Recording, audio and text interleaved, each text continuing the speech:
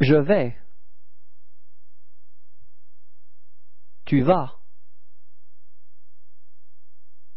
Il va.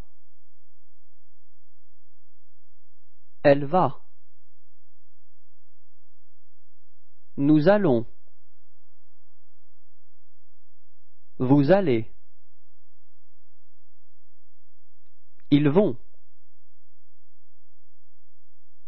Elles vont.